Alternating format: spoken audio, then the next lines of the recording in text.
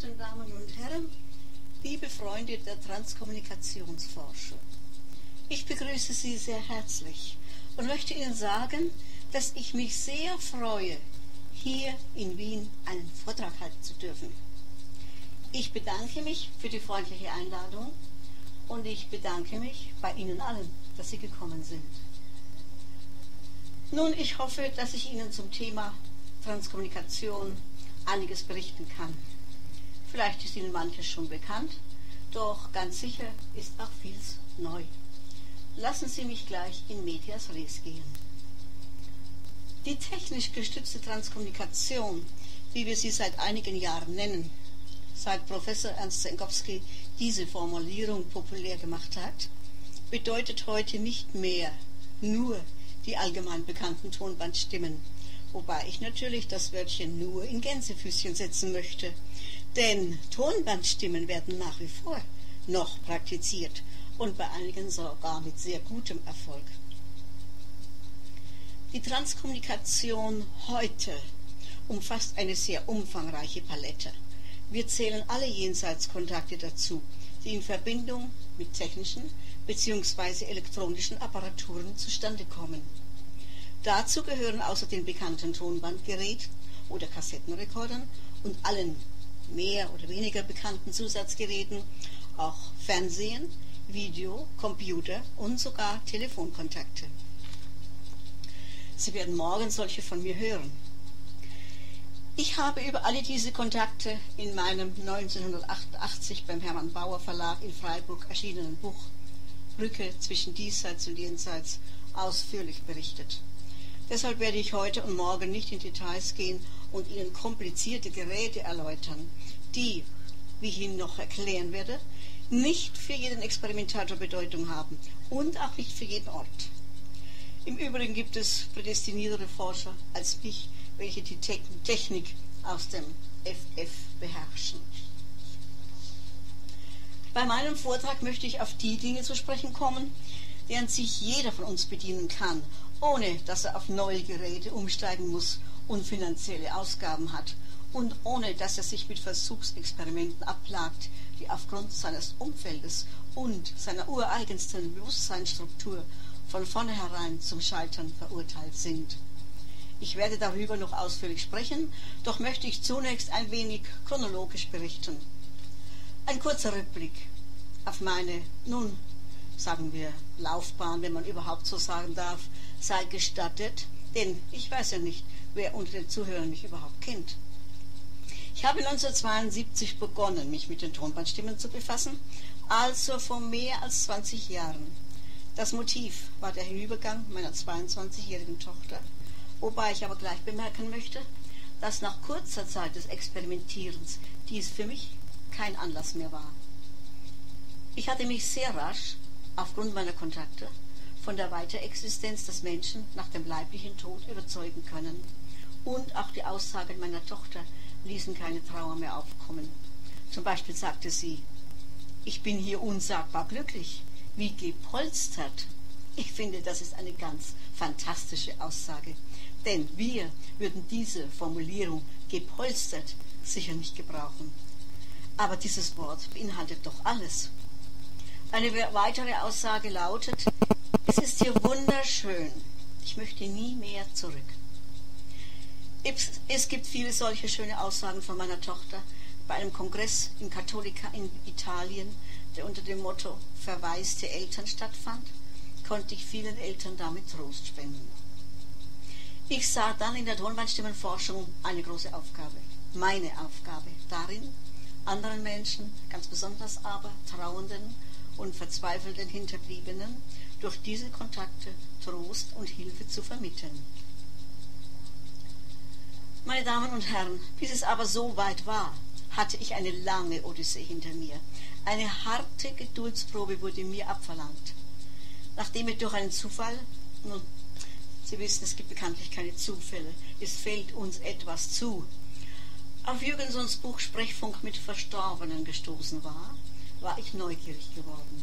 Aber nicht nur neugierig, sondern auch außerordentlich skeptisch. Doch ich wollte die Gewissheit. Ich setzte mich in Verbindung mit den großen Koryphäen der Forschung. Ich fuhr zu Jürgenson nach Schweden. Es blieb nicht bei diesem ersten Besuch. Ich fuhr mehrmals nach Bad Krotzingen zu Dr. Konstantin Raudiefe, zu Hanna Buschbeck nach Horb, zu Franz Seidel nach Wien und auch zu anderen erfolgreichen Experimentatoren in Berlin und anderen Großstädten. Es waren damals noch relativ wenige. Alle diese Personen leben nicht mehr, Verzeihung, leben nicht mehr auf dieser Erde. Kontakte aber gibt es mit allen.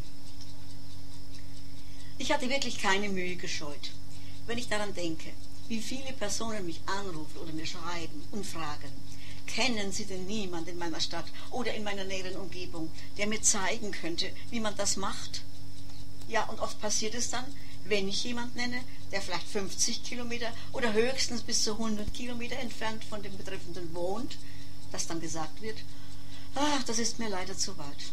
Dabei handelt es sich sogar oft um Menschen, die einen Ehepartner oder ein Kind verloren haben und angeblich nicht darüber hinwegkommen. Da möchte man am liebsten zu den Betreffenden sagen, wenn es ihnen diese kleine Mühe nicht wert ist, dann verdienen sie einen solchen Kontakt nicht. Oder jemand macht einen Versuch, wohlgemerkt einen einzigen Versuch und sagt dann zutiefst enttäuscht, da war nichts auf dem Band. Ja, ein so ungeduldiger Mensch eignet sich für solche Experimente überhaupt nicht. Oft ist auch etwas auf dem Band, nur gehört wird es nicht. Auch mir erging es anfangs nicht anders. Wenn ich später frühere Bänder abhörte, entdeckte ich noch eine Menge Stimmen, die mir als ungeübte Anfängerin entgangen waren. Über richtiges Hören habe ich vor einiger Zeit eine Abhandlung geschrieben. Ich weiß nicht, ob ich dazu komme, den Artikel vorzulesen, ich glaube nicht, aber ich habe Kopien davon gemacht und verteile sie morgen gerne, wenn jemand daran interessiert ist. Ja, ich stand damals sozusagen ganz allein auf weiter Flur und niemand, wirklich niemand in meiner Stadt oder in der ganzen Umgebung hatte eine Ahnung von solchen Kontakten.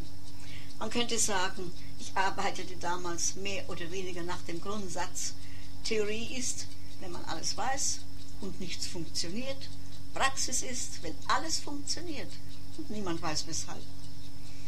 Später, als dann doch da und dort etwas von meinem Ton, Tun durchsickerte, hieß es, nun, die Frau ist halt ein bisschen übergeschnappt nach dem Tod ihrer Tochter. Wer mag es ihr verdenken? Wie ich schon sagte, ich hatte mich vor Ort ausführlich informiert und hatte auch bei den verschiedenen Experimentatoren Stimmen gehört. Mehr oder weniger gute, aber überzeugt war ich trotzdem noch lange nicht. Außerdem erschreckten mich damals die technischen Geräte, besonders bei Konstantin Raudive, der in seinem Schreib Schreibzimmer ein ganzes Arsenal davon herumstehen hatte. Ich hatte damals von der Technik so wenig Ahnung wie ein sechsjähriges Schulkind von der hohen Mathematik und das dachte, dass ich das niemals lernen werde. Als ich dann Geburtstag hatte, wünschte ich mir von meinem Mann ein Tonbandgerät. Nun saß ich Abend für Abend vor dem Gerät und bat und flehte um Kontakt. Und dies drei Monate, wohlgemerkt, drei Monate lang, jeden Abend, ohne den kleinsten Erfolg. Als ich dann dachte, nun, ist ja doch alles Humbug. Die Menschen bilden sich was ein, sie glauben Stimmen zu hören, aber es ist bestimmt nichts dahinter. Zeitverschwendung, ich hör auf damit. Da kam plötzlich eine Stimme durch unverkennbar die Stimme meiner Tochter Heli, die sagte, Muje, liebe, gute Muje, hier ist Heli. Muje, das war mein großer Name. Sicher können Sie sich vorstellen, wie elektrisiert und ungeheuer aufgeregt ich war. Ich holte meinen Mann, damit er sich diese Stimme anhören sollte. Und was sagte er? Ja, das ist Heli. Das ist Ihre Stimme. Aber das gibt es nicht. So denken viele Menschen. Was es nicht geben darf, das gibt es eben nicht. Ich aber ließ mich nicht beirren. Ich machte weiter und hatte dann großen Erfolg. Nachdem ich etwa so ein Jahr lang ganz allein eingespielt hatte, konnte ich nach und nach einige Personen gewinnen, die sich an diesen Abenden beteiligten. Jede Woche einmal, immer zur gleichen Zeit. Das ist sehr wichtig, meine Damen und Herren, denn die Jenseitigen richten sich nämlich danach. Ich arbeite damals mit einem Tonbandgerät, das es schon lange nicht mehr gibt, wie es ja überhaupt kaum noch Tonbandgeräte gibt, sodass fast jeder seit Jahren nur noch mit Kassettenrekorder einspielt. Dazu benutzte ich ein uraltes Radiogerät ohne Trennschärfe und stellte immer Fremdsprachen ein. Russisch, Polnisch, Tschechisch, also eben solche, die ich nicht verstand. Bedingt durch mein erstes Buch über die Tonbandstimmen meldeten sich dann immer mehr Menschen bei mir, sodass es manchmal zehn bis zwölf Personen waren, die teilnahmen. Aber ich muss sagen, dass die damaligen Einspielungen quantitativ und qualitativ ganz hervorragend waren. Manche Personen kamen von weit her. Ich war natürlich bange, ob sie auch Kontakt bekommen würden oder ob sie unverrichteter Dinge wieder heimreisen müssten. Aber erstaunlicherweise glückte es fast immer und ich bin davon überzeugt, dass die Emotionen, die Trauer, die große Liebe vor allem zu den Verstorbenen diese Kontakte begünstigte. Ein Jenseitiger hat einmal gesagt, Technik ist nicht alles. Sie ersetzt nicht die Macht des Gedankens. Nun, meine Damen und Herren, was ist die Macht des Gedankens? Es ist die Inbrunst, der Herzenswunsch nach Kontakten mit den Verstorbenen. Ganz einfach ausgedrückt, es ist unsere Liebe zu ihnen. Jedenfalls war es für mich immer eine große Freude, wenn Menschen, die traurig oder oft sogar weinend zu mir kamen, getröstet und voller Freude nach Hause gehen konnten. Ich habe durch die Tonbandstimmen nur Positives erlebt, niemals etwas Negatives.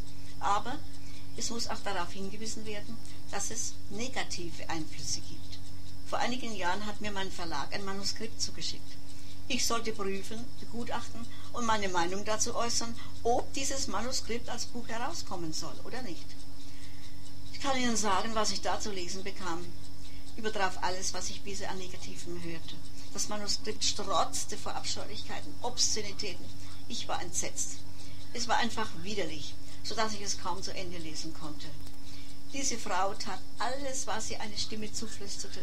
Sie züchtete sich selber mit Ruten, sie legte sich die ganze Nacht lang splitternackt auf die kalten Fliesen ihrer Waschküche. Ich könnte eine lange Reihe von sinnwidrigen Handlungen aufzählen. Ja, am Ende landete sie beim Psychiater. Nun, was ich dazu zu sagen habe, kann ich ganz kurz umreißen. Aufgrund des Briefes, den ich damals an den Bauer Verlag schrieb. Ich habe geschrieben, genauso wie es religiös Besessene gibt, kann es auch Tonbandstimmen Besessene geben. Aber deshalb wird man weder die Religion noch die Tonbandstimmung verbieten. Wer durch Tonbandstimmen depressiv, krank oder sonst wie psychisch geschädigt wird, war vorher schon nicht in Ordnung, zumindest psychisch angeschlagen, wenn auch vielleicht nur latent. Ich rate allen Neulingen, sich nur dann damit zu befassen, wenn sie mit beiden Beinen auf der Erde stehen und gewiss sind, dass sie sich gegen etwaige negative Einflüsse wehren können, oder man muss sofort längere Zeit pausieren. Aus einer Passage des Manuskriptes dieser Frau geht deutlich hervor, was für eine grundfalsche Einstellung sie zu den Tonbandstimmen hatte. Ich zitiere. Die Geisterwelt war in jenen Tagen realer als die materielle Welt für mich. Meine physische Umgebung war mir unwichtig geworden. Ich ging ganz in den Kontakt mit dem Jenseits auf und konzentrierte mich voll auf die Stimmen und war ihnen total hörig. Zitat Ende. Das besagt wohl alles. Ich meine, jeder hat die Geister, die er verdient. Ich habe dem Verlag natürlich abgeraten und geschrieben, dass dieses Buch total einseitig ist und der Forschung in keiner Weise gerecht wird. Es wäre genauso, als würde man behaupten, alle Kranken werden falsch behandelt, weil eine Operation misslungen ist. Solche tendenziösen Stellungnahmen, die nur individuellen Charakter haben können, lassen die Ergebnisse von Tausenden und Abertausenden von Forschern unberücksichtigt. Ich befasste mich also zunächst, wie ich Ihnen schon sagte, allein mit Experimenten. Später wurden es fünf, acht bis zwölf Personen. Schließlich musste ich einen Saal mieten, weil die Leute bei mir nicht mehr Platz fanden. Und wir trafen uns dann regelmäßig alle vier Wochen. Es waren zunächst 20, 30, dann 50, später 80 und 100. Auch heute noch halte ich diese Zusammenkünfte ab, wenn auch unregelmäßig, doch immer in einem gewissen Turnus. Mir ist ganz klar gesagt worden, dass meine Aufgabe jetzt nicht mehr darin besteht, mühsam einzelnen Menschen die Grundbegriffe der Transkommunikation beizubringen, so wie ich es fast 20 Jahre lang getan habe, sondern dass ich nun meine Erkenntnisse und Erfahrungen in einer anderen Form unter die Menschheit bringen soll. Und zwar, wodurch, geht das besser, wodurch könnte das besser gehen als durch Bücher. Das Wissen um die Transkommunikation und somit um das nachtodliche Leben, was ja das Primäre an der Transkommunikation ist, wird dadurch viel mehr Menschen mitgeteilt, als ich im engen Rahmen bewerkstelligen könnte. Dass mein Entschluss richtig war, beweist, dass mein Buch Brücke zwischen Diesseits und Jenseits bereits in drei Sprachen übersetzt wurde. Italienisch, Französisch, Portugiesisch und eine vierte, Hebräisch, ist im Gespräch. Ich hatte bereits erwähnt, dass die Transkommunikation auch Computerkontakte, Videobilder und Telefonkontakte umfasst. Ich selber besitze keinen Computer, kann damit auch gar nicht umgehen. Klaus Schreiber, der die ersten Videobilder bekam, saß nächtelang vor dem Fernseher. Dazu braucht man also sehr viel Zeit und Geduld, die ich aufgrund meiner schreibenden Tätigkeit einfach nicht aufbringen kann. Jeder Mensch muss wissen, wozu er sich eignet, an welchem Platz er seine Aufgabe zu erfüllen hat. Ein Kollege aus meiner Gruppe bemühte sich zum Beispiel um Videoeinspielungen, aber ohne Erfolg. Es wurde ihm konkret gesagt, dass er dafür nicht vorgesehen sei, sondern sich auf Tonbandeinspielungen konzentrieren soll. Aber ich kann bestätigen, dass es alle diese Kontakte tatsächlich gibt, denn ich konnte mich davon überzeugen. Ich war mehrmals bei dem Ehepaar Hasch Fischbach in Luxemburg und habe miterlebt, wie sich auf dem Video Verstorbene zeigt. Ich habe miterlebt, wie das Telefon klingelte und Maggie Hasch-Fischbach mit Sven Salter telefonierte, einer jenseitigen Wesenheit, über die das Ehepaar ausführlich in seinen Zeitschriften berichtet, wie auch ich in meinem Buch. Ich habe erlebt, wie sich der Computer, während wir in einem Lokal zu Abend gegessen hatten, angeschaltet und Texte ausgedruckt hatte. Ich hatte mich überzeugt, dass vorher, bevor wir gingen, sämtliche Geräte abgeschaltet waren. Auch meine Tochter kam auf Video in Luxemburg durch. Ich hatte das Glück, bei Klaus Schreiber live zu erleben, wie sich Bilder manifestierten. Ich sagte zu ihm während einer Tagung, nachdem er die ersten Videobilder vorgeführt hatte, wie schön wäre es doch, wenn sich auch meine Tochter einmal zeigen würde. Nach ein paar Wochen erhielt ich von Klaus Schreiber einen dicken Brief. Zuerst las ich seine Zeilen, bevor ich das zweite Kuvert aufmachte. Er schrieb, auf seinem Video hätte sich ein Mädchen manifestiert, das er nicht kennen würde. Ich sollte die beigelegten Fotos ansehen, ob es eventuell meine Tochter wäre. Sie können sich vorstellen, mit welchen Gefühlen ich diesen Umschlag öffnete. Ich sagte mir, erwarte dir nichts, damit du nicht enttäuscht wirst. Doch hatte ich natürlich Hoffnung. Ja, es war wirklich meine Tochter. Ihr Bild wurde von vielen Zeitschriften veröffentlicht, sowohl als Lebende wie auch als Verstorbene, damit die Endlichkeit ersichtlich war. Auch in einem Buch von Rainer Holbe wurden die Fotos veröffentlicht. Eine besondere Art des Direktkontaktes erlebte ich laufend in Darmstadt bei Peter Herting. Bis zu seinem Tod 1988 meldete sich eine Wesenheit direkt aus dem Radio. Der Sprecher nannte sich ABX Juno. A für außerirdisch, B für biologisch und X für Experiment. Aber das alles steht ausführlich in meinem Buch Brücke zwischen Diesseits und Jenseits. Bei Adolf Holmes in Riebenich, auch einem sehr erfolgreichen Experimentator, meldete sich vor einigen Wochen ABX Juno und sagte, dass er sich bald wieder in Darmstadt melden wird. Bekanntlich wird die Gruppe in Darmstadt von Jochen Vornoff weitergeführt. Ich lese Ihnen vor, was ABX Juno durchgab. Hier spricht ABX Juno. Sie werden meine Ihnen bekannte Stimme nicht erkennen. Dies liegt an der Verschiedenheit der Formen auf Ihrer Seite. Ich sende Ihnen eine Übermittlung für die Gruppe Vornoff und bestätige hiermit alle Informationen der Wesenheit Claudius. Die Seele Claudius verfügt über ein so großes Potenzial, dass sich dies niemals durch ein Medium ausdrücken lässt. Bitte haben Sie Vertrauen. Haben Sie Dank für alle bisherigen Bemühungen. Grüßen Sie bitte Herrn Vornoff, Frau Schäfer, Frau Herting sowie alle Freunde Ihrer Gruppe.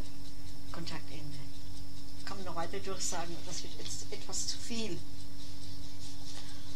Meine Damen und Herren, als ich vor etwa 15 Jahren das Buch schrieb, Stimmen aus einer anderen Welt, bat ich Friedrich Jürgensohn, mit dem ich damals befreundet war, das Vorwort zu schreiben. Er sagte, ja, das mache ich gerne, aber unter einer Bedingung. Du darfst in deinem Buch nicht behaupten, dass für diese Kontakte Medialität erforderlich ist. Hielt mich selbstverständlich an das Versprechen das ich ihm geben musste, obwohl ich mich damals bereits davon überzeugen konnte, dass Friedrich Jürgenson sehr medial veranlagt war.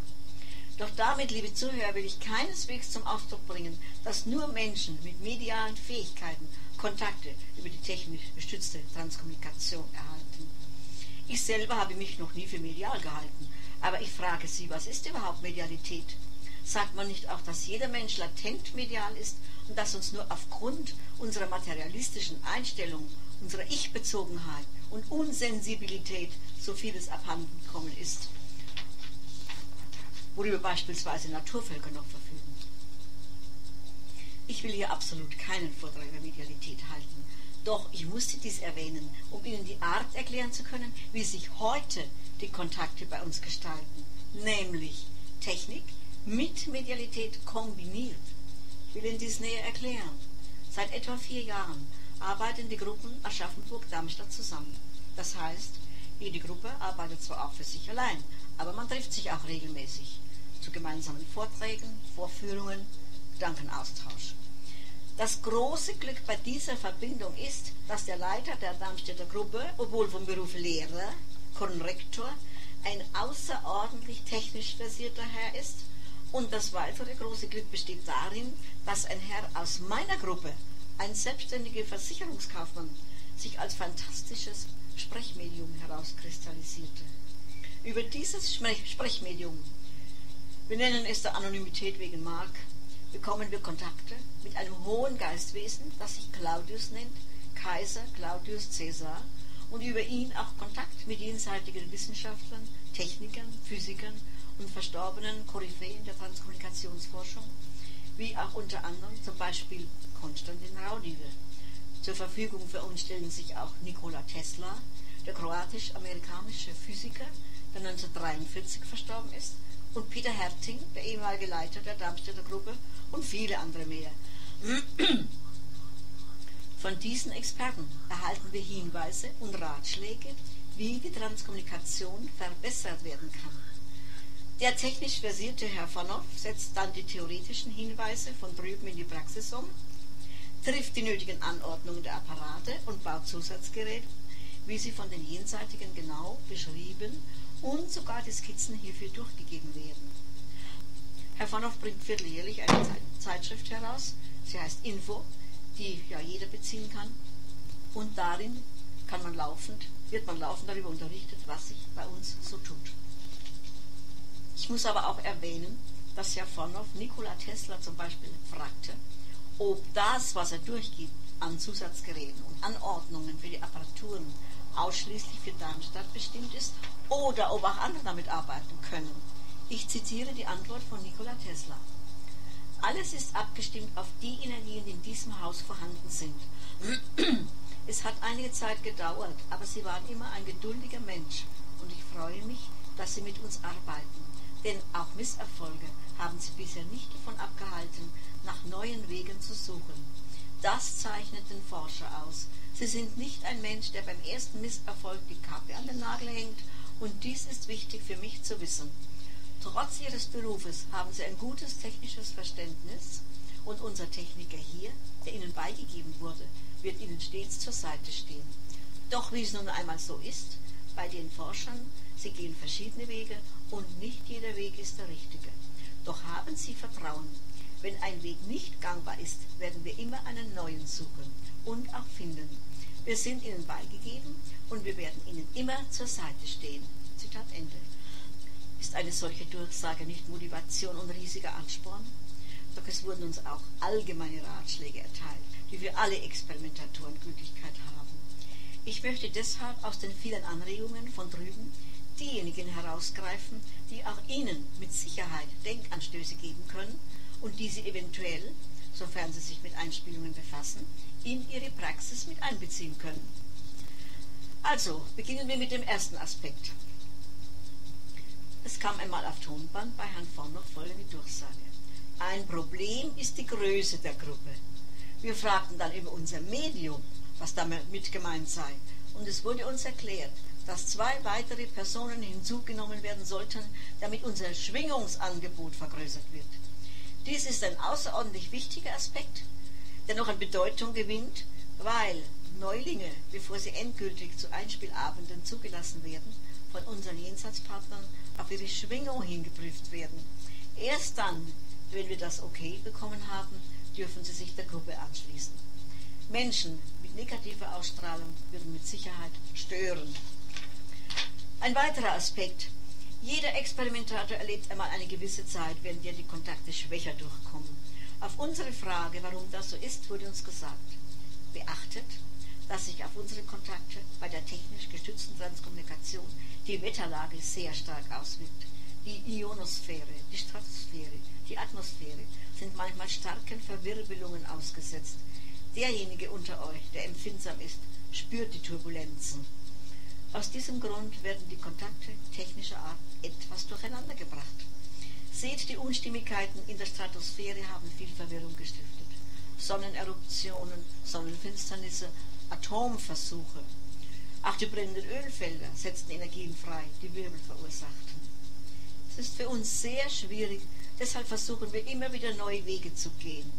Für die Tonbandstimmen im Allgemeinen gilt, dass atmosphärische Störungen eine klare Übermittlung sehr schwierig gestalten. Dennoch, eines ist gewiss, selbst der kleinste Beweis einer Umformung legt Zeugnis von uns ab. Ende der Durchsage. Jenseitige sagen uns des Öfteren, dass ihr größtes Problem bei dem Kontakt mit uns die Zeit ist. Ich will Ihnen dies näher erklären. Die Kontakte müssen im Kontinuum, im richtigen Moment auf der Zeitachse angesiedelt werden. Das heißt, im Jenseits ist der Moment, in dem Sie uns hören, ein winziger Punkt, eine winzige Stelle im Raum zu einer bestimmten Zeit. Diesen Punkt müssen Sie orten und messen, wie schnell unsere Zeit läuft. Die Kommunikation in unserem materiellen Bereich ist einfacher. Wir hören einen Menschen reden und antworten. Er hört es sofort. Die Zeiten der beiden Partner sind nicht synchron, aber sie laufen gleich schnell. Mit einer Schnecke zu reden wäre für uns schwieriger, Endlich ist das Problem zwischen diesseits und jenseits. Nur sind wir für die Jenseitigen wahrscheinlich Ultraschnecken. Wir erleben in einer Sekunde 18 Eindrücke, wissenschaftlich belegt. Die Jenseitigen so viele sie wollen. Sie müssen also ungeheuer aufpassen, dass sie uns im richtigen Moment erwischen, damit wir auch hinhören. 90% aller Botschaften, so lautet die Aussage von drüben, gehen verloren, da der Mensch seine 18 Eindrücke aufbraucht für Sehen, Hören, Denken und viele Eindrücke, die ihn ablenken. Eine achtzehntel Sekunde, wenn der einmal Stille in uns ist, reicht kaum für lange Botschaften. Also muss der Mensch lernen, Zeit zu lehren, mit zwei E. Das heißt, er muss während einer Einspielung in der Lage sein, Ohren, Augen, Nase, das Denken abzuschalten, damit ihn Botschaften erreichen können dann hören wir auch Ihre Aussagen, sofern nicht gerade das Telefon bei uns klingelt. Ein wichtiger Aspekt ist auch folgender. Es wurde uns gesagt, verwendet zu Anfang jeder Einspielung immer die gleiche Formel. Sie könnte etwa so lauten. Wir rufen euch, die ihr uns zur Begleitung gegeben wurdet. Wir rufen euch und bitten um eure Hilfe für uns und für die Menschheit. Dies kann eine Eröffnung sein und dann beginnt eure Fragen zu stellen. Der Kreis hier bei uns, als drüben, wird durch diese Worte angeformt und wir wollen versuchen, den Kanal zu festigen. Als wir fragten, warum diese Formel wichtig ist, bekamen wir zur Antwort. Sie dient zur Sammlung der Energien.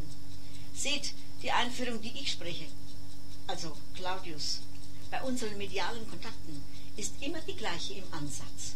Sie bezweckt die Konzentration des Einzelnen, damit wir ihn einbinden können. Diese Formel lautet so, will sie Ihnen kurz sagen, Clau, Clau, Claudius. Und zwar deshalb, weil der Kaiser Claudius gestottert hat, ja. Das ist ein Erkennungszeichen. Also noch einmal. Clau, Clau, Claudius, Herodes Agrippa, Freund meines Lebens, ich schließe den Kreis. Ich binde euch ein in die Gnade der Allmacht. Es ist auch wichtig, dass ihr die Fragen erarbeitet und dann eventuell die Frage von einem einzigen gestellt werden kann, aber laut, damit die Gedankenströme der anwesenden Personen festgebündelt werden können und nicht aus dem Verbund abweichen. Es ist sehr wichtig, dass ihr alle in diesem Kreis eine einheitliche geistige Vorstellungskraft euer eigen nennt und sie sollte sich so manifestieren, dass alle, jeder einzelne von euch bei diesen Einspielungen einen Punkt anvisiert.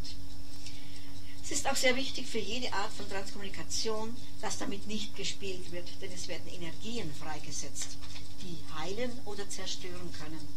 Denn die Energie ist weder gut noch böse. Es kommt auf die Anwendung an, meine Freunde. Verliert euch auch nicht zu so sehr in euren eigenen privaten Problemen, die von untergeordneter Bedeutung sind. Ende der Durchsage. Wir fragten auch, um welche Energie es sich handelt, die für die Jenseitigen erforderlich ist. Da kam Folgendes durch. Tachyonenenergie. Tachyonenenergie ist schneller als das Licht und sie ist nicht messbar. Über die näheren Zusammenhänge habe ich in Band 2, Dialog mit Claudius, der Ende September zur Buchmesse erscheint, berichtet. Nun zum nächsten Punkt. Diese Aussage ist etwas, was alle Forscher interessieren dürfte. Es wurde uns nämlich gesagt, dass wir in den Lichtkegel einer UV-Lampe, also Ultraviolett, damit arbeiten sowohl Herr von Roch wie auch Professor Senkowski, einen Kristall setzen sollten. Wir fragten natürlich, warum, wieso. Hier der genaue Wortlaut der Antwort. Der Kristall gibt Energien ab, die Sie nicht besitzen. Deshalb ist es wichtig, dass Sie diesen Kristall dazu benutzen, um die von uns erzeugte Energie zu bündeln. Ein Beispiel. Sie schicken einen Lichtstrahl aus und dieser Lichtstrahl trifft auf ein Loch. Er wird sich dann verlieren. Durch den Kristall aber wird der Energiestrahl zurückgeleitet. Er wird sich vielfach brechen. Dazu eine Erklärung, was Energiebündelung bedeutet. Stellen Sie sich vor, dass hier auf unserer Seite, jenseits, viele Radioapparate stehen und wir bemüht sind, diese Radioapparate alle auf einen Kanal einzustellen. Auf den Kanal, den der Sender ausstrahlt, damit wir alle diese eine Energie bündeln und diese bestimmte Sendung auf allen anderen Geräten zu hören ist. Gleichzeitig, liebe Freunde, sind wir Sender. Das heißt, wir senden eine bestimmte Sprache aus, einen bestimmten Dialog zu Ihnen und nun müssen Sie versuchen, dass jeder einzelne von Ihnen, der als Empfänger gilt, diesen Knopf so weit einreguliert, dass eine Gesamtfrequenz entstehen kann. Dadurch wird es möglich, dass sowohl von Ihrer Seite als auch von unserer Seite gesendet und empfangen werden kann. Das ist die Erklärung, die ich Ihnen geben kann. Noch ein Hinweis. Ein Kristall wird gelagert. Durch das Eintauchen in natürliches Wasser läutert sich der Kristall. Regenwasser durchläuft die Atmosphäre und ist bereits geläutert wenn es zu euch kommt. Abgestandenes Regenwasser sollte nicht verwendet werden, aber die Reinigung des Kristalls ist wichtig. Nun zu einem weiteren Aspekt. Es wurde uns gesagt, dass ergänzend zu unseren Apparaturen auch eine sogenannte Mückenscheuche verwendet werden soll.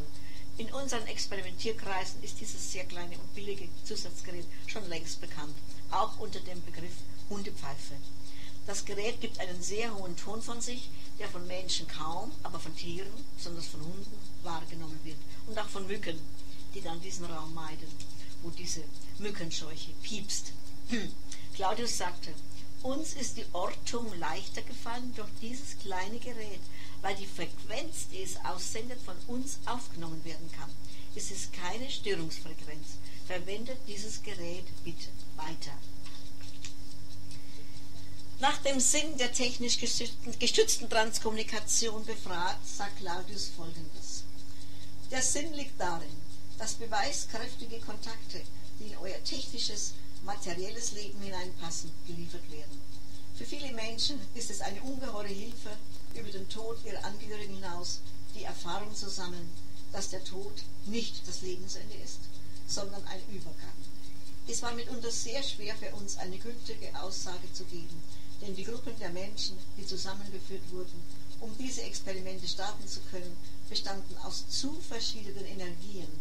Deshalb kam es auch vor, dass jeder etwas anderes hörte. Doch immer war es möglich, dass der Einzelne gemäß seines Verständnisses Stimmen wahrgenommen hat und dies war die primäre Situation, die wir schaffen wollten. Auf unsere Frage, wie die Stimmen auf die Tonbänder kommen, erhielten wir folgende Antwort. Seht, meine Lieben, das Tonband ist beschichtet. Was wir gemacht haben, ist die Struktur der Beschichtung der Magnetbänder so zu verändern, dass sie sich gemäß unserer ausgesandten Energien ausgerichtet hat. Nichts anderes geschieht zum Beispiel bei großen Geräten, die angesteuert werden, um eine direkte Stimme zu erreichen. Völlig anders ist die Situation, wenn ich durch einen Lautsprecher sprechen möchte. Hier geschieht es, dass nicht das Tonband, sondern die Geräte, durch die wir uns artikulieren, beeinflusst werden. Wir nehmen Schwingungen auf, bündeln sie und leiten sie über die Geräte direkt in den Lautsprecher hinein. Ihr habt es erlebt in Luxemburg, und in Darmstadt bei Peter Herting, wie sich die Stimmen modifiziert haben. Heute bedienen wir uns auch eurer Technik, Computer, Video und so weiter. Aber die Tonbandstimmen waren für uns zunächst ein Einstieg, denn das andere Material stand uns noch nicht in ausreichender Menge zur Verfügung. Hier brauchen wir nicht nur Geräte, sondern wir brauchen einen Experimentator dazu, um zum Beispiel Telefonkontakte zu steuern, um einen Computer zu bedienen, um irgendjemanden sprechen zu lassen. Die Fortsetzung dieser ersten Transkommunikationskontakte geschah über Peter Herting, über Manfred Boden und zu gleicher Zeit auch über Luxemburg. Wir fragten, sind das sehr mediale Menschen oder sind sie gezielt von euch ausgewählt worden oder hat ihre Seele diesen Weg gesucht? Claudius antwortete, meine Lieben, das Letztere ist der Fall. Die Bereitschaft der Seele war ausschlaggebend, dass es möglich wurde, sie anzusteuern. Seht die Frage nach dem Woher und nach dem Wohin des Menschen, nach dem Sinn des Lebens, ist in jedem latent vorhanden. Nur bringt der eine oder andere bestimmte Voraussetzungen mit, die es uns ermöglichen, ihm die Gnade des Erkennens zu geben, damit er sie weiterträgt. Unsere weitere Frage an Claudius. Gibt es auch auf eurer Ebene Forschungsgruppen? Claudius antwortet, ja, aber wir nennen es nicht Forschungsgruppen. Und bitte nehmt jetzt nicht, nehmt jetzt, wenn ich sage, dass sich solche Gruppen aus verschiedenen Personen zusammensetzen, die Personen nicht wörtlich, sondern es sind verschiedene geistige Schwingungen. Diese geistigen Schwingungen finden sich zusammen und jede bringt ihr eigenes Wissen, ihre eigenen Erkenntnisse aus ihrer eigenen Akasha-Chronik mit in dieses Gesamtwissen ein. Deshalb ist es möglich, dass auch Physiker, die hier mitarbeiten, und andere Gelehrte Anstöße geben für euch und der Lernprozess eines jeden Einzelnen hier, wie bei euch, vorwärts schreitet. Wir fragten, ihr habt doch Zugang zum gesamten Informationsfeld des Universums. Könntet ihr da unseren Forschergruppen der Transkommunikation nicht eine umfassendere Hilfestellung geben? Hilfestellung geben? Claudius antwortet, meine Lieben, nichts leichter als das. Ich könnte euch das ganze Wissen dieser Welt und anderer Welten vermitteln. Nur, ihr könntet damit nichts anfangen, weil ihr es nicht einordnen könnt, Grundlagen nicht beherrscht. Das Einzige, was von unserer Seite aus möglich ist, den Boden euch zu bereiten, um euch weiterzuführen, um euch zu helfen, die Hürden zu nehmen. Und noch etwas. Wenn es uns nicht möglich ist, euer geistiges Potenzial zu bündeln, wird es auch unmöglich sein, eine dauerhafte Brücke zu bauen. Es wird dann nur sporadisch eine Verbindung möglich sein, damit euch der Mut nicht genommen wird. Unsere Frage. Du sagtest, es gibt auch negative, niedere Wesen, die sich einmischen in unsere Transkommunikation. Könnte diesen Wesen nicht Einhalt gebieten? Claudius antwortet, meine Lieben, ihr zieht diese Wesen an. Und deshalb ist es uns nicht möglich einzugreifen. Unsere nächste Frage. Ist Transkommunikation ein Geschenk für uns, eine Gnade, damit wir eine Bewusstseinserweiterung erfahren? Die Antwort von Claudius lautet, wir alle, meine Freunde, die wir hier auf unserer Ebene uns um die Transkommunikation bemühen, sind nichts anderes als Geburtshelfer für ein neues geistiges Bewusstsein. Die Transkommunikation gleich in welcher Form sie stattfindet, hat nur einen einzigen Sinn, den Menschen einen Weg aufzuzeigen, den sie gehen können, und sie werden sich zwangsläufig weiterentwickeln, wenn sie einen solchen Weg beschreiten. Natürlich ist es so, dass der rational denkende Mensch mit diesen Dingen wenig anfangen kann. Derjenige, der dem materiellen Denken verhaftet ist, wird es schwer haben, neue Impulse zu bekommen. Es wird viele geben, die dafür und viele, die dagegen sind. Es wird viele geben, die mit einem Lächeln darüber hinweggehen. Das ist die Entwicklung jedes einzelnen Menschen. Seht, meine Freunde, so wie die Parapsychologie als Hexerei verbannt wurde, so wie die Alchemisten vom Geheimnis sich umschleiern ließen, so ähnlich ist es heute mit der Transkommunikation. Die Wege zur Erkenntnis des Einzelnen sind verschieden. Sie waren es zu allen Zeiten. Transkommunikation ist permanent vorhanden. Die Frage ist nur, ob der Empfänger bereit ist, eingeschaltet ist, Informationen aufzunehmen. Denkt daran, wenn ihr ein Fernsehgerät nicht einschaltet, erscheint kein Bild. Trotzdem die Information latent vorhanden ist. Das Wollen der Allmacht ist, dass der Mensch diese Gnade erkennen kann. Denn ansonsten, meine Freunde, wäre euer Leben nicht einen Pfifferling wert, wenn ihr vergesst, dass es etwas mehr ist, Mensch zu sein, als gemeinhin wahrgenommen wird. Unsere Frage bei den Tonbandstimmen taucht immer wieder die Vermutung auf, dass es sich um Manifestationen des eigenen Unterbewusstseins handeln könnte. Was sagst du dazu? Claudius sagt, nein, mein Freund. Derjenige, der Erfolge aufzuweisen hat bei der technisch gestützten Transkommunikation, wird so lange einen Begleiter haben, der ihm Worte zuflüstert, solange er demütig ist. Seht es so, um jeden von euch schart sich eine Gruppe von Geistwesen. Diese Gruppe von Geistwesen kann sich auf dem Tonband stellenweise manifestieren. Die technisch gestützte Transkommunikation nimmt Schwingungen auf, die vielseitig sein können, bis sie gesteuert werden von einem einzigen geistigen zentralen Verbund. Deshalb sollte auch der Empfänger nie allein gelassen werden, denn es können Missverständnisse auftreten und er könnte irgendetwas hineinzudeuten versuchen in die Sprache, die er auf seinem Tonband vorfindet, was gar nicht gesagt wurde. Noch eine Frage von uns. Besteht ein Unterschied zwischen dem Kontakt mit dir, Claudius, und den Tonbandstimmen? Claudius antwortet, seht, meine Lieben, unsere Kontakte kommen auf andere Weise zustande. Wir benötigen eine Person, die sich völlig zur Verfügung stellt und uns damit die Möglichkeit gibt, eine unbegrenzte Abschirmung zu erreichen. Das ist bei Tonbandstimmen anders. Hierbei spielt die persönliche Tagesform eine Rolle. Ihr wisst aus der Vergangenheit, dass mancher Experimentator zunächst keine Probleme hatte. Sie traten in der Regel erst dann auf, als er an die Öffentlichkeit ging oder sich selbst als auserwählt betrachtete und die Demut verlor oder mit den Stimmen ein Geschäft zu machen versuchte. Seid euch bewusst, dass wir ganz andere Wege gehen als die Freunde der Tonbandstimmen. Seid euch bewusst, dass wir nicht nur eine einzige Wahrheit finden, sondern alle Wahrheiten. Ich weiß, dass ich euch irritiere, aber es ist so, dass wir in diesem Kreis ein breites Spektrum anstreifen können, das woanders nicht möglich ist. Und noch eine letzte Aussage von Claudius. Alles technische Wissen ist nicht ausschlaggebend für die Schaffung der Transkommunikation zu uns. Was wir brauchen und was ihr braucht, meine Freunde, ist Liebe und Demut, um der Allmacht die Pforten zu öffnen, damit sie zu euch durchdringen kann. Täuschet euch nicht, Apparaturen allein sind es nicht, sondern das Gefühl, mit denen sie bedient werden.